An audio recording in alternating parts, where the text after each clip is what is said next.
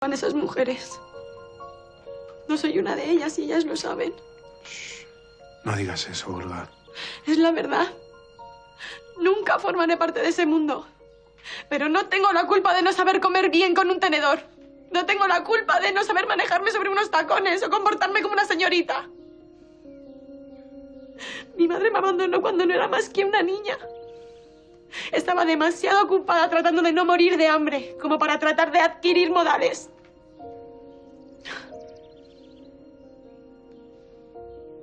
Intento olvidar el rencor que siento hacia mi madre, las ganas de venganza y convertirme en una mujer normal. Pero no lo consigo. Todo me lleva una y otra vez ahí. Todos me odian. Incluso tú.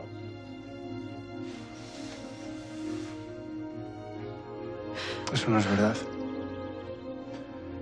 Reconozco que me equivoqué al juzgarte mal. Pero yo no te odio.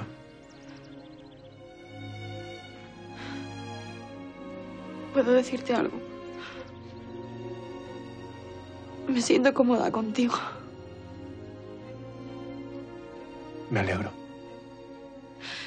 Supongo que los dos somos animales heridos. Tú eres de verdad, Diego. Eres distinto a todos esos fantoches de la calle hacías.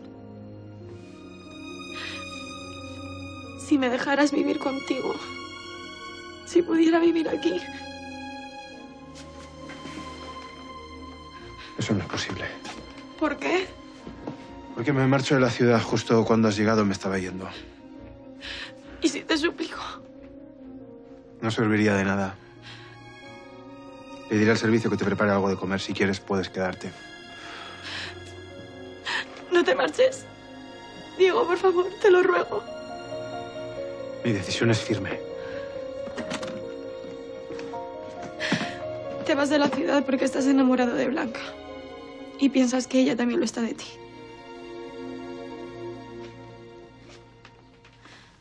¿Por qué dices eso? Ese dibujo de un pájaro que intenta escapar tiene que ver contigo, ¿verdad?